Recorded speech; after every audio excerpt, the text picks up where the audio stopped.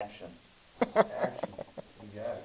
Did you work anywhere else besides the Burke Yarns or in the furniture? I worked uh, for Henredon Furniture Company. Uh, went there in 1988, and um, actually, that's not right. 1980, eh, 1989, from from 1989 to 2001, and um, I worked in customer service for the upholstery division.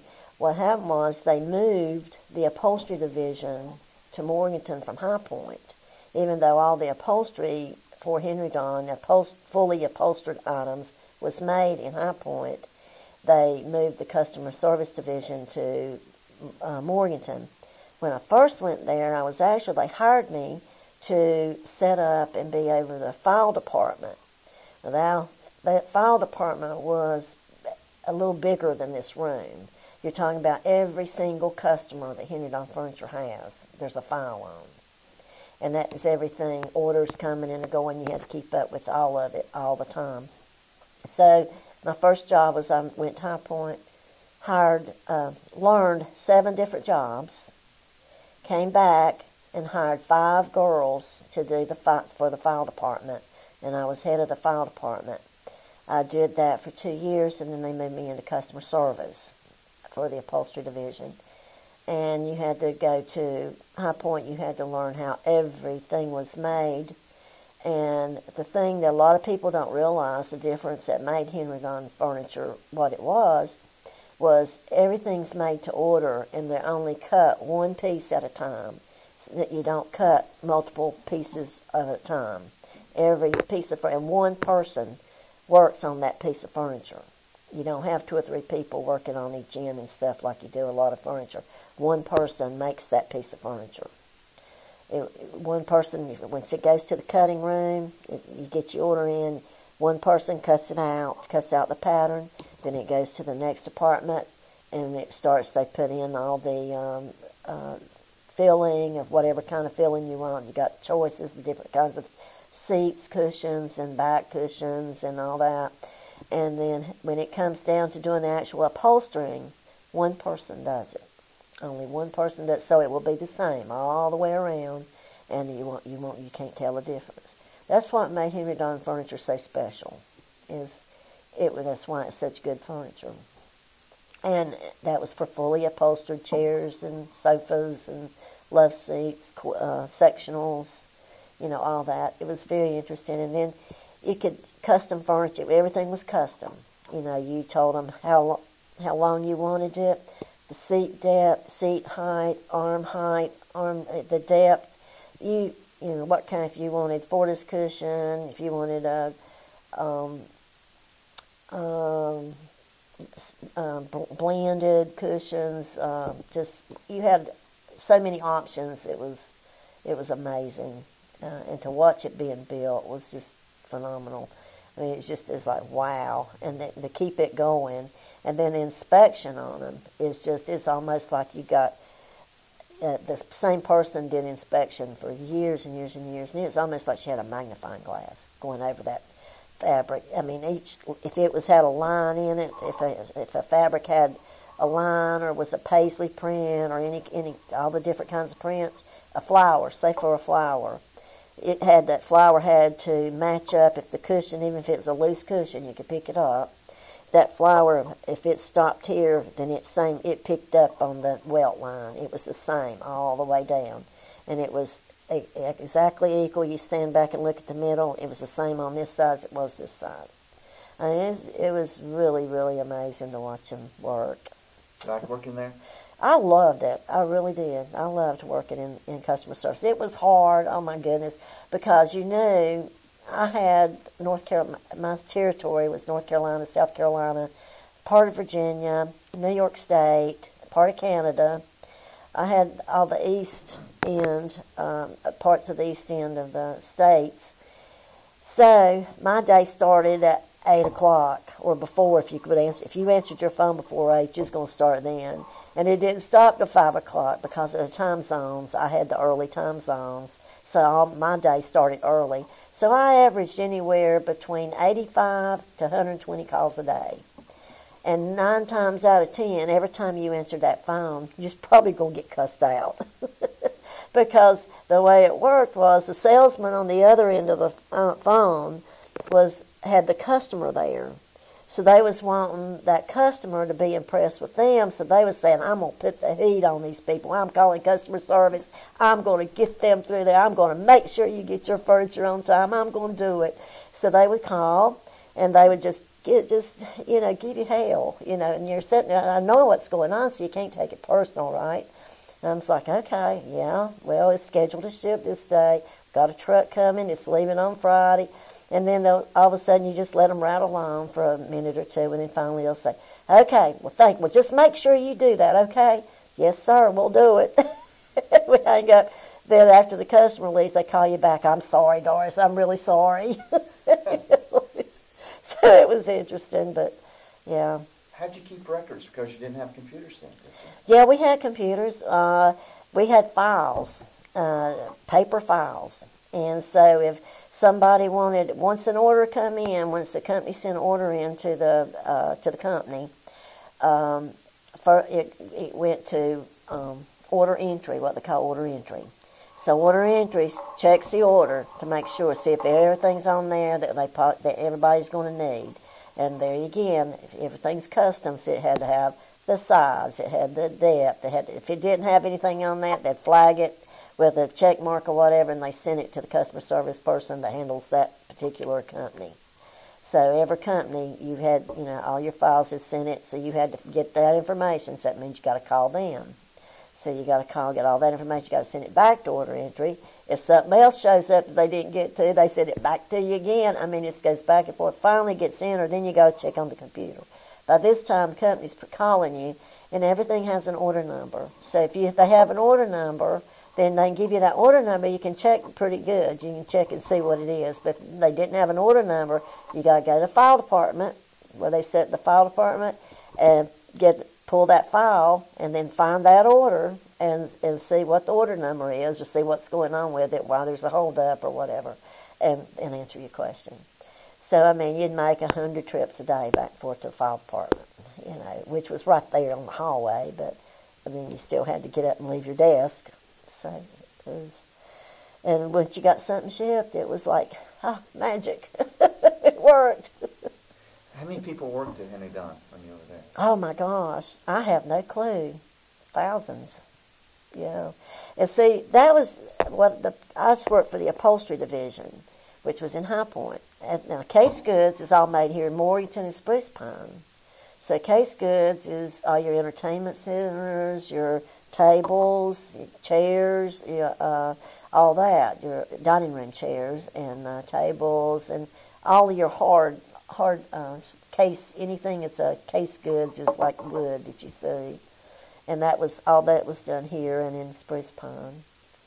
And they had we also had an upholstery plant in Mount Airy, and there was one up here in Marion uh, that they did um, the the cheaper brands of uh, furniture that uh, they were well made furniture, but they were the the uh, the cheaper line. I reckon the more inexpensive, I should say, instead of cheaper. they, So they a chair would go from uh, here to High Point to be upholstered? No, no. Now your dining room chairs is different. So, like they're only the seat in the back is is upholstered like this. Okay, then that's they could do that here in Warrington. What the upholstery division in High Point is a fully upholstered chair, like you don't see no wood on it. It- yeah, it's fully upholstered. It has big rolled arms or you know stuffing uh, all over everywhere. There's a difference in the fully upholstered. These are considered um, case goods here because you got exposed wood. And anything like this, seat cushion can pop in. You can it's like uh, uh, screwed in, or and the back is screwed in. So this is considered, you know, this is not considered fully upholstered. Oh. It's uh, case goods I don't know a lot about. I went through the factory just to see how it was made, but I know it's just it's just as amazing as the upholstery was, if not more. Especially when you get into the Oriental uh, pieces, because all the all the Oriental pieces are hand painted. They had they had like uh, a few women back there, and I say a few because it was just a few because it was so hard.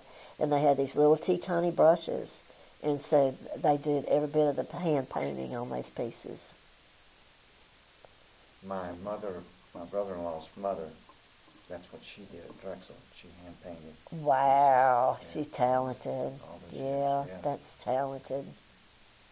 Goodness gracious, Um, it's amazing. They fascinate me. When you left Henredon, was it, did they close down or did you? I got no, I got caught up in the middle management layoff. Uh, when they moved, they ended up moving the upholstery division back to High Point. So they decided it's going to put in an 800 number for people just all over America that could call in for the 800 number and ask any question. Like if you open a magazine and you see an ad by Henredon, you could call in and order fabric swatches. You could call in and ask, you know, where this is made or what that fabric is, what is the the number on that fab, that fabric pattern number, any information, or you can order catalogs. Each uh, at Henredon, each group has its own division. Like, uh, like uh, I can't remember. Folio 16 was a certain type of uh, group of furniture, and so it had a catalog. So each different name had a catalog. So you could actually order those catalogs because they're really nice catalogs in color and all that. So they thought, okay, this 800 number, we're going to do that. So they put me in the uh, in charge of the 800 number. So you just took orders all day long and filled them with sending out these catalogs and and um, and take you had to get checks in, you had to do do all that, send it you know through the system and do all that. Then uh, my my back went out on me again, and so that's when they told me that I wouldn't walk again. So I lost my job, period, then, and uh, so basically they laid me off so that I didn't have to, you know, go through that. So they laid me off from there. But then I got back, I had surgery and come back again and become a realtor. And so after my back went out on me again, then I quit doing that. So I, I haven't done anything since. so Where'd you go to grammar school? Oak Hill. Went to Oak Hill Elementary School, um, well, Oak Hill High School, and Willow Tree Junior High. Oak Hill Junior High School, which was, was Willow Tree. They bust us from Oak Hill over to Willow Tree, and then back to Oak Hill in the afternoons. Yep. And then I went to Western Piedmont uh, to uh, and got my advanced associate degree. Uh, got my also got my educational um, association degree from the state of North Carolina through the Burke County School System. That was through the Educational Office Personnel Group that they that you can go for four years and get an advanced associate through that. So, How far to school did your mother and father go? Dad went to the fourth grade. My mom went to the eighth grade, and that was it. Did you ever think you'd go to college? No. As a matter of fact, I can remember asking uh, Dad wanting to go to the community college because back then, you know, back then the community college was a big thing because it was new. And uh, I remember when I got out, I said I said something to Dad about going to, to college, you know, and he says, he says you got a high school education, that's all you need. Now it's time for you to go to work. And so that's what I did. but and then I ended up after I worked for the school system for a while uh, one of my boss ladies there convinced me that, you know, you can do anything that you set your mind to do. And he says, you, she's the one that probably taught me more values than anybody in my life because she kept making me prove to myself that I could do things. She would give me just jobs that I would look at her and say, there's no way that I can get that done. And she says, she'd pat me on the shoulder. She'd say, it's okay, honey. You just do the best you can do. That's all we can ask. And then I'd get it done. And I was like, wow, I got this done. And it's, I even got time left before her meeting because she was wanting all this stuff done before a meeting. And I was like, wow, I can't believe I got all this done, you know. And so I'd get it done, and she'd, then she'd always wink at me. She said, I knew you could. You're a smart cookie. I knew you could do it. And I thought, well, maybe I can do that. So I thought, okay, I'm going back to school. so I had a daughter. At that time, I had a daughter. And so I'd take her with me to class. And I'd take her with me. And uh, she'd sit there and look at her books and just was good as gold. And I'd take her with me to my part time job. I was going to school, working two jobs, and, and at the same time, and uh, raising her and uh, take her with me. And she'd sit there and watch her read her books, and she was fine. And we'd get out, and she was just, I thank the good Lord, they He blessed me with this wonderful child because I could have never done it had she not been as good as she was. What's her name? Tana Shea, Tana Shea Featherby, How old is she now? she'll be 47 in December 5th. That's the only child you had. Yes, sure is. Ironically, uh, probably won't use this, but ironically, when uh, I had the accident at Burke Yarns and they sent me to Winston, they found I had cancer. And so they sent me to Chapel Hill for cancer treatments, and so I didn't get to have any more children. That was so. That was how that came about. Sometimes they find those things when they're looking for something else and Yeah. going in. Yeah, well, they told they said, you know, said, because we're coloring, let's do a routine physical. Uh, so I don't like the way she looks. okay. And so they What if she said she wanted to work in one of the mills? What would you have told her? I would have probably done, to the best of my ability, I would have tried to talk her out of it. Mainly because, Could you rephrase that? okay, um, Because he, repeat the question, tell- or, or make a statement. Yeah. oh, okay. If my daughter came and asked if, to work in the mill, Okay, okay, you want me to do, okay. If, it's okay. No. Um, if my daughter came to me and asked or told me that she wanted to go to work in a mill, I would probably do my best to talk her out of it.